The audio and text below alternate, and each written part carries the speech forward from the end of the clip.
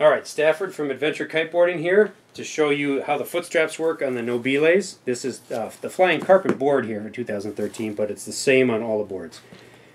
You thread the Velcro underneath, and then the plastic strap goes on the top part so that you're never going to get plastic against your feet even inside the foam. It's all the way on the other side.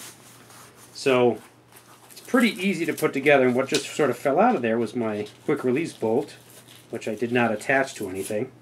But I'll show you how that works in a second, how they quickly connect to the board.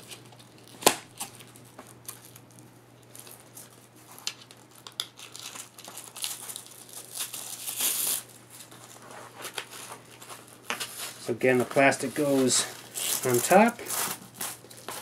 You can pull it super snug if you want. I'm pulling this super snug just to show you. These are the quick release bolts that we'll use to one of the four holes on each side of the pad so you can get the right duck foot if you want. These are quick releases. They will go in super fast. So all you do is screw these down and then flick them over and your board is secure with your foot straps. No wrenching, no stressing out how these things used to be just terrible when kiteboards first came out. They were so difficult to put together. This is literally it. So I get this nice and snug, and I'm going to flip the lever over.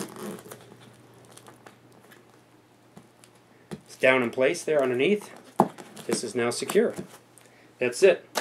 My foot straps are on. When I want to take them off, if I'm traveling, I want to get this out, I want to pack my board tight, I want to put it in my vehicle, and I don't just want, uh, I need space.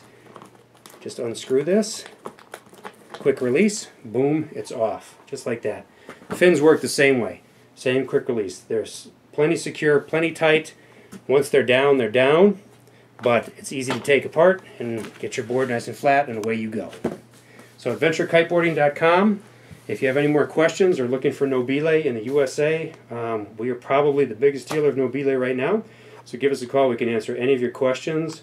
All of us ride Nobile, and uh, we can tell you anything you need to know about them. AdventureKiteboarding.com.